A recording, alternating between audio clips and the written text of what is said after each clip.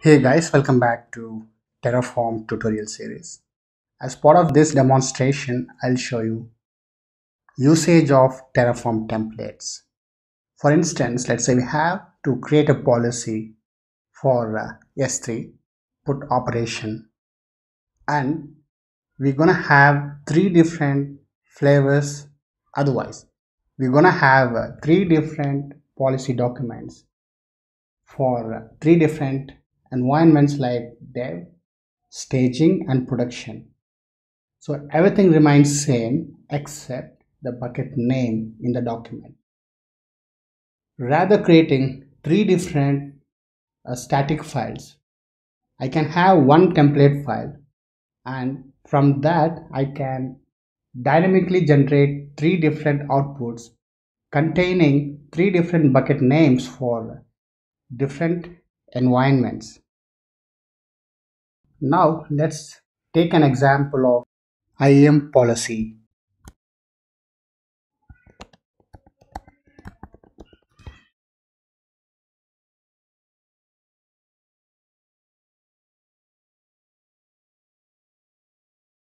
Here let's take IAM policy. Effect is allowed. And the service is Amazon S3 okay and the actions let me take put object.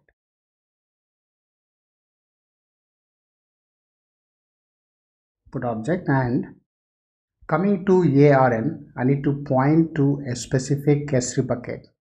Let's take a sample Amazon resource name there. So add statement. This is our final policy document in this document what is going to change is bucket name for uh, different environments. Now what I do is I will create new file.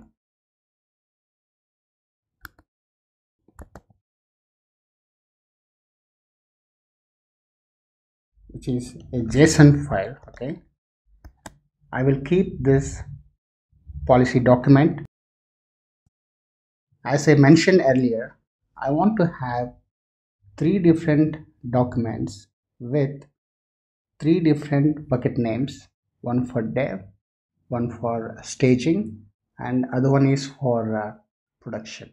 So one way of achieving this one is to maintain three policy documents. That's one approach it will become difficult when you have duplicate files with small changes. The better approach is to use terraform template. This one i will make it a template. I will put a variable here. Later on i will use this as a source and i'll pass my own value to that variable such that I will get a different output by passing different variables. Alright, I have taken the hard-coded bucket name. Then I'm using a variable in the file.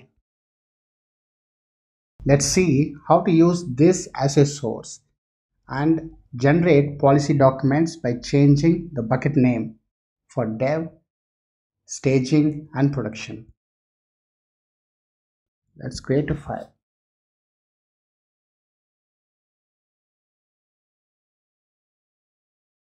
A Terraform file there.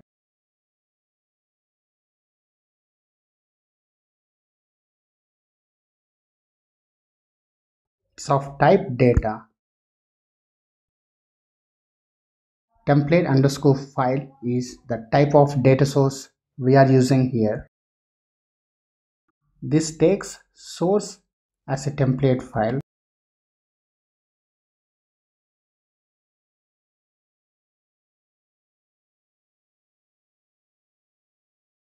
Provide the file path s3 hyphen iam hyphen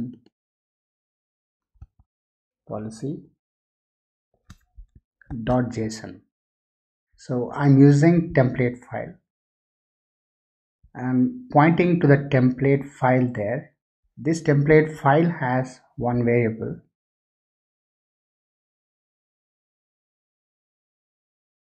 To that template file, I will pass variables using variables block. Variable name inside template file is bucket underscore name.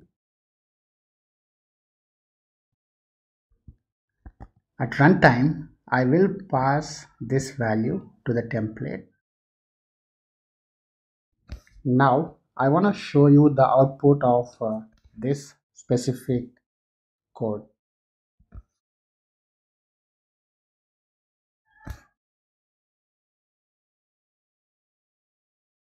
This must have a logical name.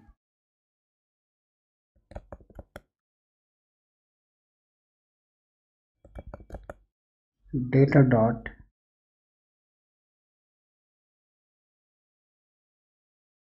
dot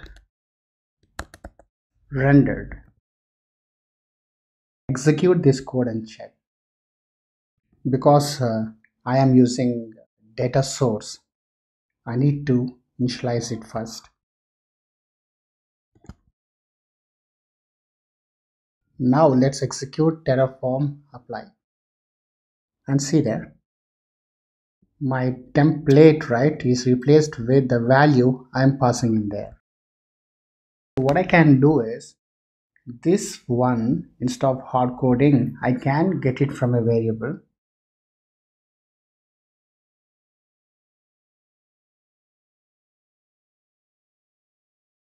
Like uh, var dot bucket name